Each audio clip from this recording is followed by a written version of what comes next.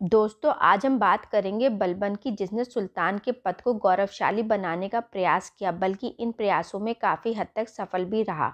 बलबन का वास्तविक नाम बहाउद्दीन था। वह तुर्कों के इलवरी कबीले से ताल्लुक़ रखता था। अपने युवावस्था में ही बलबन मंगोलों द्वारा बंदी बना लिया गया तथा ख्वाजा जमालुद्दीन बसरी के हाथों बेच दिया गया। बसरी ने भी उसे दोबारा दिल्ली लाकर बेच दिया।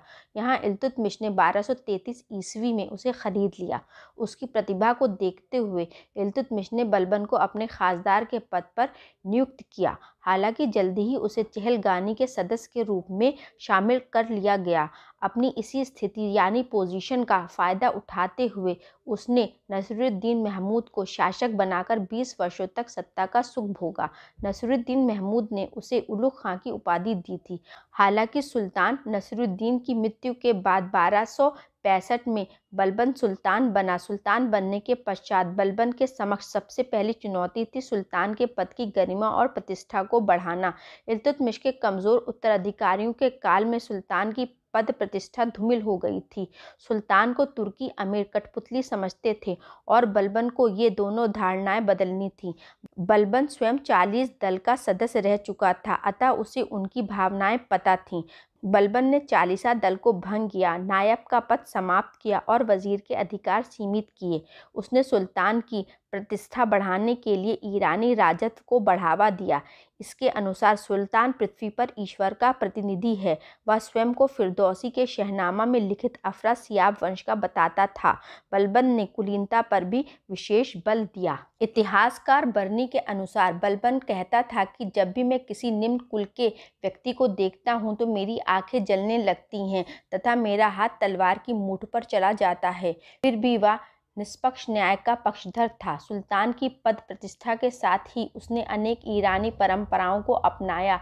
दरबार का भव आयोजन दरबारियों के परिधान तथा लोगों में उचित दूरी बनाए रखने का नियम बलबन ने बनाए थे। उसने सिजदा तथा पाईबोस कदम चूमने की प्रथा प्रारंभ करवाई और ईरानी त्यौहार नौरोज़ भी मनाया। उसने शराब पीना छोड़ दिया तथा हँसी मज़ाक से परहेज करता था। दरबार में वह गंभीर मुद्रा में रहता था तथा बहुत कम बोलता था। इस प्रकार बलबन ने सुल्तान पद की प्रतिष्ठा और गरिमा को बढ़ाया तथा निरंकुश राजतंत्र स्थापित किया। पूर्ववर्ती या उत्तरवर्ती किसी भी सुल्तान ने बलबन की तरह राजत्व की व्याख्या नहीं की।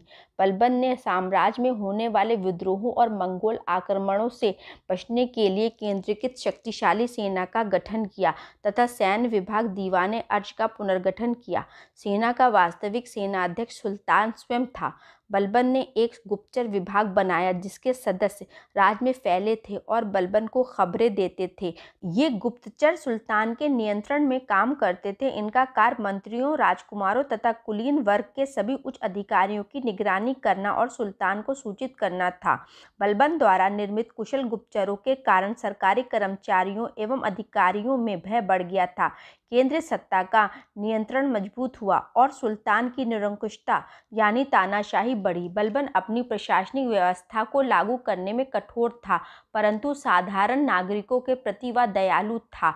दोस्तों, अपनी इन्हीं नीतियों की वजह से कठोर होते हुए भी वह आम जनता तथा अमीरों में लोकप्रिय था। बर्नी ने बलबन की मृत्यु पर लिखा है कि बलबन की मृत्यु से दुखी हुए अमीरों ने अपने वस्त्र फाड़ डाले तथा सुल्तान के शव को नंगे पाँव कब्रिस्तान ले जाते हुए उन्होंने अपने अपने सिरों पर धूल फेंकी। उन्होंने बलबन की मृत्यु का चालीस दिनों तक शोक मनाया तथा भूमि पर सोए।